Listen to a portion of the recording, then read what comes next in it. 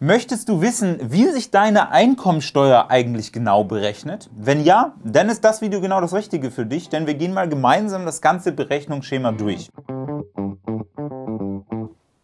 Hi, mein Name ist Melcher von der Kontist Steuerberatung und heutzutage nutzen wir für unsere Steuererklärung ja meistens irgendeine Software. Taxfix, Smartsteuer, Steuerbot, Wundertax und so weiter. Oder wir geben das Ganze einfach an den Steuerberater ab wie uns zum Beispiel. Wenn du Freiberufler oder Selbstständige bist, dann ist unser Angebot vielleicht genau das Richtige für dich. Aber dadurch, dass wir das outsourcen oder mit einer Software machen, wissen viele gar nicht mehr, wie eigentlich die Einkommensteuer berechnet wird und ja, wie eigentlich deine Steuer am Ende zustande kommt. Da wir dazu relativ viele Fragen immer wieder bekommen, dachte ich mir, ich nehme hier jetzt einfach mal ein Grundlagenvideo auf, wo wir das Schritt für Schritt gemeinsam durchgehen. Da wir in diesem Video natürlich jetzt selbstverständlich sehr fachlich arbeiten, arbeiten werden, hole ich mal Literatur. Und zwar schlagen wir auf, gemeinsam, Paragraph 2 Einkommensteuergesetz. Und da steht, Umfang der Besteuerung, Begriffsbestimmungen. Der Einkommensteuer unterliegen erstens Einkünfte aus Land- und Forstwirtschaft, zweitens Einkünfte aus Gewerbebetrieb und ich glaube, ich mache es in diesem Video einfach ein bisschen einfacher. Und zwar, ganz wichtig an dieser Stelle, du hast, wenn du selbstständig bist, in erster Linie erstmal Umsätze. Das heißt, all das Geld, was dir irgendwie zufließt im Rahmen deiner Selbstständigkeit. Das muss übrigens nicht nur zwingend Geld sein, sondern es kann auch in, sagt man so, Geldeswert bestehen. Geldeswert ist beispielsweise, wenn du Gegenstände, eine Dienstleistung für deine Arbeit bekommst. Das ist relativ häufig bei Influencern zum Beispiel der Fall, dass die eher in Produkten bezahlt werden als in Geld.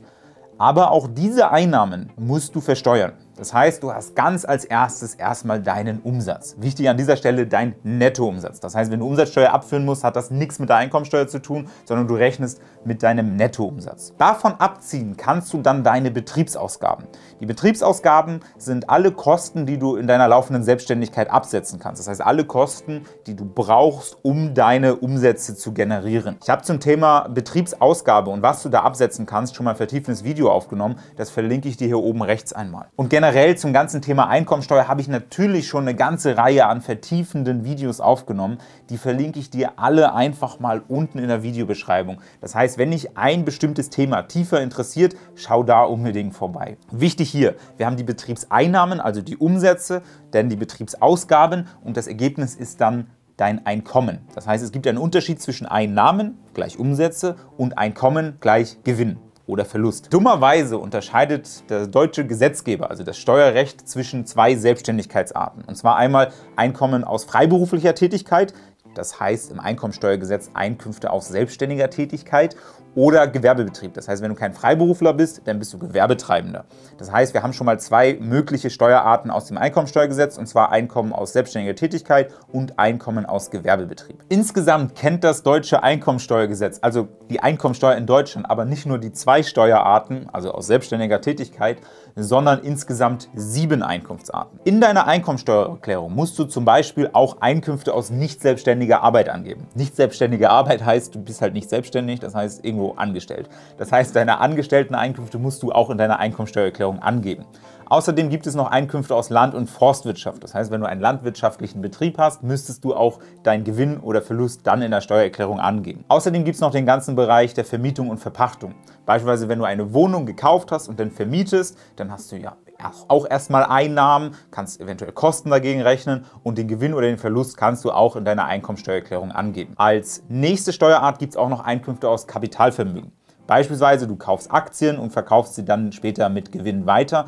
Das ist in der Regel auch steuerpflichtig. Da wird übrigens in der Regel schon eine Steuer einbehalten vom Depot oder von der Bank. Das ist die sogenannte Abgeltungssteuer. Diese Einkünfte musst du auch nicht zwingend in deiner Steuererklärung angeben. Es ergibt aber durchaus manchmal Sinn. Und zwar, wenn dein eigener Steuersatz, ein individueller Steuersatz niedriger ist als die Abgeltungssteuer, also niedriger ist als 25 Prozent, dann ergibt es Sinn, die Kapitaleinkünfte auch in deiner Einkommensteuererklärung anzusetzen, weil du dann tatsächlich weniger Steuern zahlst oder unter Umständen sogar Steuern wiederbekommst. Als nächste Steuerart gibt es noch die sogenannten sonstigen Einkünfte. Das ist kein Sammelposten, sondern das ist auch ziemlich genau definiert, was unter sonstige Einkünfte fällt. Als Beispiel könnte man hier private Veräußerungsgeschäfte nennen. Private Veräußerungsgeschäfte sind beispielsweise Verkäufe von Bitcoin. Das heißt, wenn du Bitcoin gekauft hast, dann mit Gewinn verkaufst, dann kann das unter Umständen steuerpflichtig sein und zwar als sonstige Einkünfte. Und mit diesen fünf Einkunftsarten plus der freiberuflichen Tätigkeit und Gewerbetätigkeit haben wir unsere sieben Einkunftsarten beisammen. Diese Einkunftsarten rechnest du zusammen und dann hast du eine Summe der Einkünfte. Und das ist auch schon mal der erste wichtige Punkt, den du wissen solltest. Wenn du beispielsweise Gewinn mit der einen Einkunftsart machst und Verluste mit einer anderen, kannst du das miteinander verrechnen. Das geht nicht ganz immer. Das heißt, du kannst nicht jede Einkunftsart mit jeder anderen Einkunftsart miteinander verrechnen. Beispielsweise kannst du Verluste aus Bitcoin-Handel nicht mit deiner Angestellten-Tätigkeit verrechnen. Was du aber zum Beispiel machen kannst, wenn du Gewinn machst mit deiner Angestellten-Tätigkeit, was in der Regel der Fall ist, sonst wird man halt nicht arbeiten gehen, und Verluste aus einer selbstständigen Tätigkeit kannst du miteinander verrechnen. Wenn du zum Beispiel einen Angestelltenjob hast und 100.000 Euro brutto Jahresgehalt hast, dann kannst du beispielsweise, wenn du parallel gründest und da im ersten Jahr einen Verlust machst von 20.000 Euro, kannst du das miteinander verrechnen und musst nicht auf die 100.000 Euro Steuern zahlen, sondern nur auf die Summe oder in dem Fall Differenz von 80.000 Euro. Das heißt, du musst nur das versteuern, was du wirklich zusammengerechnet pro Jahr als Einkommen hattest. Wenn wir diese Einkünfte zusammenrechnen, haben wir erst einmal die Summe der Einkünfte. Und wenn wir von dieser Summe der Einkünfte den Altersentlastungsbetrag und den Entlastungsbetrag für Alleinerziehende abziehen, dann haben wir den Gesamtbetrag der Einkünfte. Wenn du das beides nicht hast oder das beides nicht auf dich zutrifft, dann ist die Summe der Einkünfte bei dir identisch mit dem Gesamtbetrag der Einkünfte. Von dem Gesamtbetrag der Einkünfte ziehen wir erstens Verluste ab. Und zwar Verluste aus anderen Jahren, also aus dem Vorjahr oder aus dem folgenden Jahr und so weiter. Das heißt, du kannst Verluste nicht nur im gleichen Jahr miteinander verrechnen, sondern auch aus anderen Jahren. Ich habe zum Thema Verlustverrechnung auch schon mal ein intensiveres Video gemacht. Auch das findest du mit allen anderen Videos unten in der Videobeschreibung. Das heißt aber, wir ziehen vom Gesamtbetrag der Einkünfte erstmal die Verluste ab aus anderen Jahren können dann aber auch noch zum Beispiel außergewöhnliche Belastung abziehen. Das sind zum Beispiel Gesundheitskosten und Sonderausgaben. Sonderausgaben sind zum Beispiel Versicherungen wie deine Krankenversicherung oder deine Rentenversicherung. Auch dazu haben wir jeweils noch ein vertiefendes Video. Ich glaube, du weißt langsam, wo du es findest. Und wenn wir das abgezogen haben, dann haben wir als Ergebnis das Einkommen. Wenn du dein Einkommen berechnest, dann kannst du davon noch den Kinderfreibetrag oder den Betreuungsfreibetrag abziehen und eventuell einen Härteausgleich. Und wenn du das gemacht hast, haben wir endlich dein zu versteuerndes Einkommen, was die Grundlage für die Berechnung der Einkommensteuer ist. Mit diesem zu versteuernden Einkommen kannst du jetzt in solche Steuertabellen gehen. Da gibt es entweder für ledige oder verheiratete unterschiedliche Steuertabellen und dann kannst du ablesen, wie viel Steuern du denn zahlen musst. Inzwischen geht das Ganze aber auch ein bisschen interaktiver und zwar gibt es ein Tool auf der Seite des Finanzministeriums. Den Link dazu findest du unten in der Videobeschreibung da trägst du einfach dein zu versteuerndes Einkommen ein und das Tool sagt dir dann, wie viel Einkommensteuer du zu zahlen hast. Und das schauen wir uns einfach mal zusammen an und deswegen gehe ich einmal mit dir jetzt gemeinsam auf meinen Bildschirm und zwar, so sieht die Seite aus, muss ich hier mein zu versteuerndes Einkommen, mein ZVE eintragen und zwar trage ich hier einmal 100.000 Euro ein. Dann muss ich noch angeben, ob ich verheiratet bin oder ob ich alleinstehend bin. Das liegt daran, weil Verheiratete eine gemeinsame Steuererklärung abgeben können. Das heißt, da wird einfach alles einmal zusammengerechnet. Da ist der Tarif aber ein anderer. Und ich muss das Berechnungsjahr angeben. Das heißt, ich kann bis 58 zurückgehen. Das heißt, hier kannst du auch nochmal berechnen, wie viel Steuern eigentlich deine Eltern in deinem Geburtsjahr äh, hätten bezahlen müssen oder hoffentlich auch haben. Aber wir bleiben mal bei 2020. 2022 und klicken auf Berechnen. Dann rechnet er im Hintergrund und zeigt mir oben an, zu versteuerndes Einkommen 100.000 Euro, äh, alleinstehend, Berechnungsjahr 2022. Und hier sagt er mir, dass ich auf diese 100.000 Euro, also 100.000 Euro zu versteuerndes Einkommen, eine Steuer von 32.732 Euro zahlen muss. Das ist allerdings nicht alles, denn ich muss auch noch Solidaritätszuschlag zahlen und zwar in Höhe von 1.800 Euro und 26 Cent. Ergibt insgesamt eine Steuerbelastung für das Jahr 2022 für mich von 34.532 Euro und 26 Cent. Das ist genau das, was ich zahlen muss. Wichtig an dieser Stelle, es gibt auch noch Unterschiede zwischen deinem Durchschnittssteuersatz und Grenzsteuersatz. Auch dazu gibt es ein vertiefendes Video unten in der Videobeschreibung, aber auch das wird mir hier angezeigt. Das heißt, ich habe einen Durchschnittssteuersatz von 34,53% und eine Grenzbelastung, also ein, mein persönlicher Grenzsteuersatz, Spitzensteuersatz, sind 42%. All das sagt mir das Tool und das kannst du, sobald du dein zu versteuerndes Einkommen selbst ausgerechnet hast, auch für dich ausrechnen. Das Ganze bedeutet also, dass ich für das Jahr 2022 ungefähr 35.000 Euro Steuern zahlen muss. Das bedeutet aber nicht, dass das jetzt tatsächlich das ist, was ich jetzt an das Finanzamt überweisen muss. Denn ich habe unterjährig ja eventuell sogar schon Steuern vorausgezahlt ehrlicherweise nicht eventuell, sondern es ist meistens der Fall.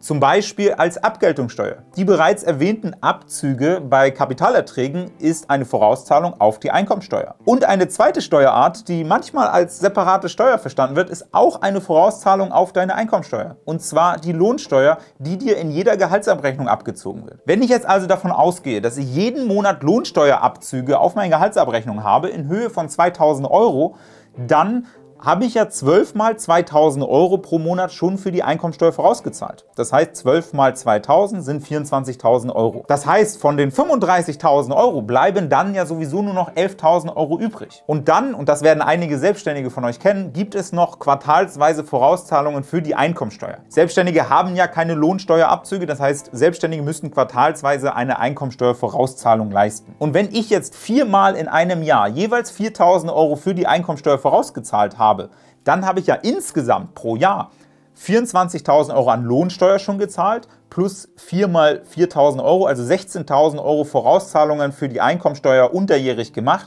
sind insgesamt schon 40.000 Euro Steuerzahlungen, die das Finanzamt ja jetzt schon von mir hat. Und wenn jetzt der Steuerbescheid kommt, und da ist genau die Berechnung drin, zu versteuerndes Einkommen von 100.000 ergibt ungefähr eine Steuerbelastung von 35.000 Euro, dann wird im nächsten Schritt gerechnet, okay, vorausgezahlt wurde bereits, 40.000 Euro ergibt eine Steuererstattung von 5.000 Euro. Und damit sind wir mit der Berechnung dann tatsächlich am Ende. Normalerweise ist jeder Steuerbescheid dann auch schon gleichzeitig der Vorauszahlungsbescheid für die nächsten Jahre, das heißt, was du quartalsweise vorauszahlen musst. Ich weiß, dieses ganze Video war relativ trocken. Gott sei Dank nicht so trocken wie dieser Schinken. Wenn du dazu noch eine Frage hast oder etwas noch nicht ganz klar ist, dann stell deine Frage doch einfach unten in den Kommentarbereich und ich versuche dir so gut wie möglich weiterzuhelfen. Wenn du jetzt aber sagst, oh mein Gott, ich habe darauf überhaupt keine Lust, ich bin selbstständig und ich will einen Steuerberater, der alles für mich macht, dann habe ich einen guten Tipp für dich. Wir sind spezialisierte Online-Steuerberater für Freiberufler und Selbstständige und ich verlinke dir unser Angebot einmal hier. Ansonsten solltest du aber auch in unserer Online-Community vorbeischauen. Da kannst du auch gerne all deine Fragen zu Steuerabzügen und so weiter stellen. Wie du dich anmelden kannst, erkläre ich dir in diesem Video. Oder schau einfach eins unserer nächsten Videos an, zum Beispiel das hier.